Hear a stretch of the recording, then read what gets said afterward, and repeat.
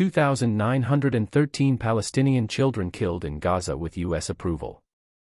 Ramallah, October 26, 2023. Nearly 3,000 Palestinian children have been confirmed killed in Gaza since October 7, according to the Ministry of Health.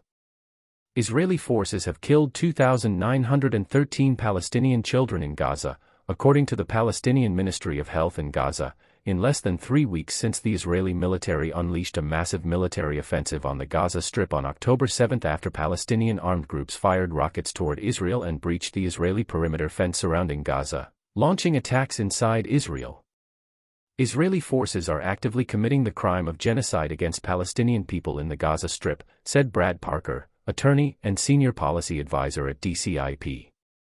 The United States is not simply standing by, but is actively enabling and supporting the gravest crime under international law making the United States complicit. Israeli warplanes are entirely U.S. sourced and the munitions killing Palestinians in the Gaza Strip are overwhelmingly American-made weapons. The fatality and injury numbers provided by the Ministry of Health in Gaza only account for people admitted to hospitals, and an estimated 940 Palestinian children are reported missing under the rubble of destroyed buildings, indicating the actual death toll is much higher. In the United States, the Biden administration and Congress have overwhelmingly and unconditionally supported the ongoing full-scale Israeli military attacks, which have largely been carried out with U.S.-sourced weapons and supported by U.S. taxpayer military funding. On October 16, Representatives Ayanna Pressley, MA 07, Cori Bush, MO 01, Rashida Tlaib, MI 12, Andre Carson, IN 07, Summer Lee, PA 12, and Delia C. Ramirez, IL 03, introduced the Ceasefire Now Resolution, H. H.Res. 786, in the House of Representatives urging the Biden administration to call for an immediate de-escalation and ceasefire in Israel and Palestine, to send humanitarian aid and assistance to Gaza, and to save as many lives as possible. The resolution currently has the support of 18 members of Congress. Yesterday, the House of Representatives overwhelmingly voted in support of H.Res. 771, a resolution expressing solidarity with Israel and condemning attacks by Hamas and other armed groups this month. In a roll call vote on the House floor yesterday, 412 members of Congress approved the resolution, with 10 lawmakers voting no, 6 voting present, and 5 not voting the United Nations Security Council failed again yesterday to agree on a resolution that would end or pause active hostilities, rejecting dueling resolutions from the United States and Russia, both permanent members with veto power.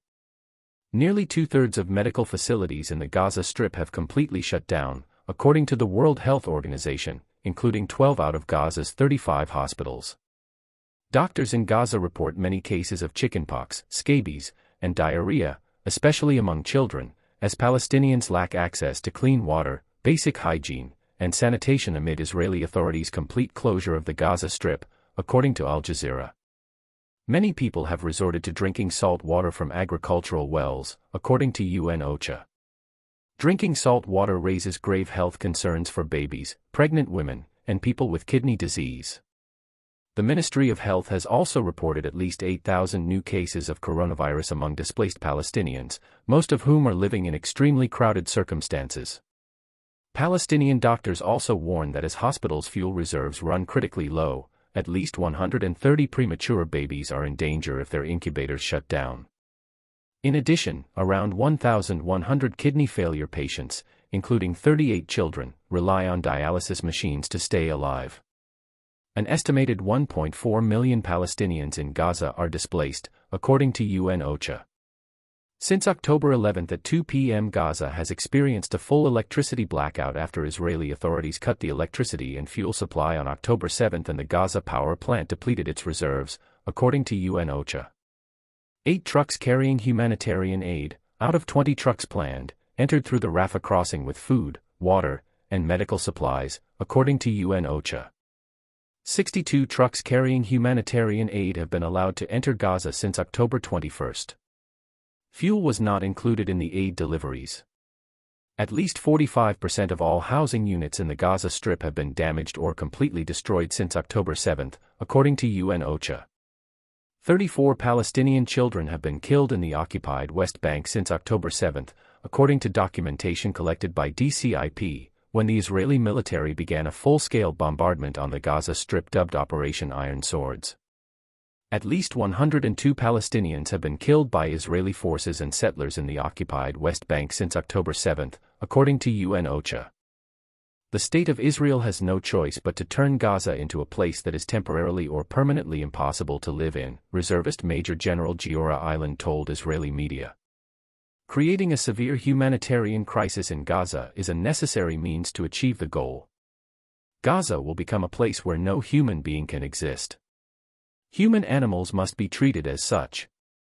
There will be no electricity and no water, in Gaza, there will only be destruction. You wanted hell, you will get hell, said Major General Ghassan Alian, head of coordination of government activities in the territories, COGAT. Under international law, genocide is prohibited and constitutes the deliberate killing of a large number of people from a particular nation or ethnic group with the aim of destroying that nation or group, in whole or in part. Genocide can result from killing or by creating conditions of life that are so unbearable it brings about the group's destruction. International humanitarian law prohibits indiscriminate and disproportionate attacks and requires all parties to an armed conflict to distinguish between military targets, civilians, and civilian objects. Deploying explosive weapons in densely populated civilian areas constitutes indiscriminate attacks and carrying out direct attacks against civilians or civilian objects amounts to war crimes. Israeli authorities have imposed a closure policy against the Gaza Strip since 2007 by strictly controlling and limiting the entry and exit of individuals, maintaining harsh restrictions on imports including food, construction materials, fuel, and other essential items, as well as prohibiting exports. Israel continues to maintain complete control over the Gaza Strip's borders, airspace, and territorial waters.